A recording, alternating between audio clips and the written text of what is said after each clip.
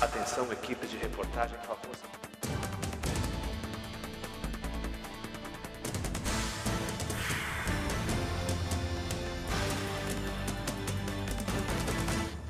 Olá para você que acompanha o Jornal em Tempo pela internet. Os novos ônibus que deveriam chegar ao sistema de transporte coletivo de Manaus em junho vão atrasar de novo. A previsão agora é para daqui a 60 dias e essa informação foi confirmada pela Prefeitura.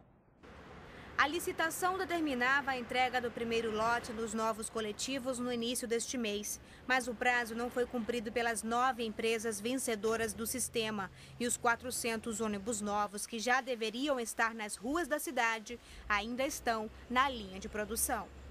Depois de visitar as fábricas onde estão sendo feitos os novos ônibus, o superintendente da SMTU, Marcos Cavalcante, chegou à conclusão de que a culpa pelo atraso não é das empresas contratadas, e sim do processo burocrático para a liberação de crédito junto aos bancos e também das próprias montadoras, que estão com muitos pedidos de várias cidades brasileiras. Por conta disso, o prazo para a entrega desses coletivos foi prorrogado e sem nenhum prejuízo às empresas contratadas. A SMTU cedeu um prazo a pedido das empresas, prorrogando por mais 60 dias, onde estoura esse prazo final de agosto. Com atraso, o primeiro lote de entrega passa para 600 ônibus. De acordo com Marcos Cavalcante, como as empresas conseguiram crédito acima do esperado, algumas compraram ônibus a mais do que o exigido na licitação. Com isso, até o final do ano, Manaus deve ter uma frota de mil ônibus zero quilômetros. A Polícia Civil desencadeou a Operação Resgate. Só este mês, 60 pessoas acusadas de praticar assaltos em Manaus foram presas. Os principais assaltos eram feitos a residências, veículos e até mesmo nas ruas. Vários mandados de prisão ainda devem ser cumpridos aqui na capital. E na tarde de hoje, policiais encontraram o corpo do pai de santo João Gomes da Silva Neto, de 48 anos. Ele estava na casa dele, na rua Moisés, bairro Alfredo Nascimento, zona leste de Manaus. Segundo a polícia, João foi assassinado a pauladas e a tiros e não era visto pelos parentes desde a semana passada. E também esta tarde a Marinha afirmou que três pessoas desapareceram depois de um naufrágio próximo à cidade de Humaitá. O capitão dos portos aproveitou também para divulgar um balanço da Operação Parintins. Agito na ilha, calma no rio. Apesar do grande número de pessoas que viajaram a Parintins na última semana, poucas ocorrências graves foram registradas no trajeto pela Marinha.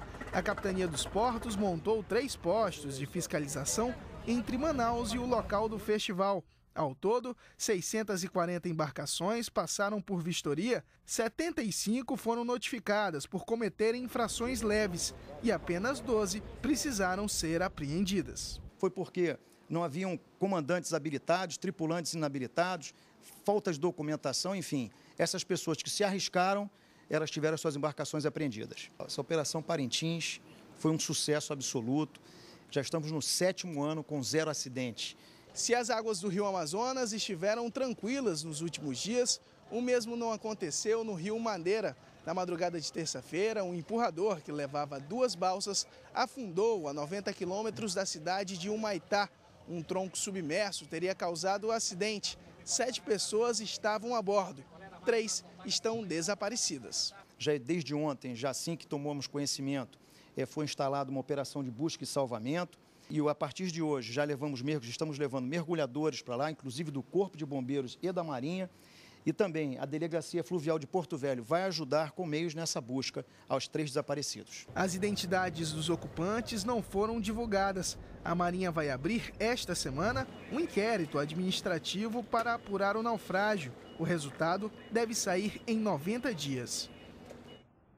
O Batalhão Ambiental da PM apreendeu na madrugada de hoje 700 quilos de pescado, 500 de pirarucu e 200 de tambaqui. Os produtos não podem ser comercializados nessa época por estarem protegidos pelo defeso. Uma pessoa foi presa e vai responder por crime ambiental.